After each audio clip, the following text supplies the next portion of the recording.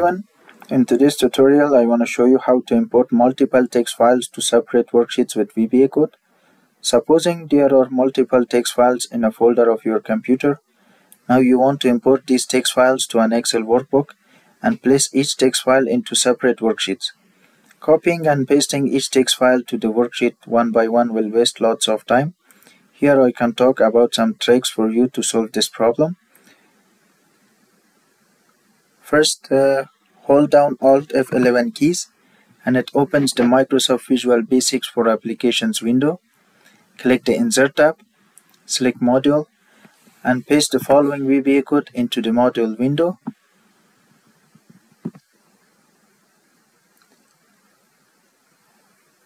Press the F5 key to execute this code. And in the pop-up uh, window, please specify the folder which contains the text files.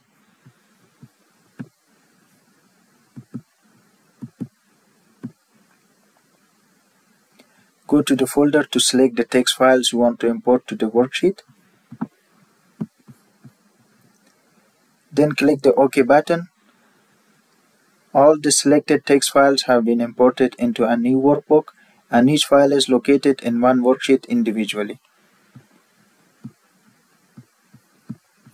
Please do not forget that the link to the VBA code is provided in the video's description.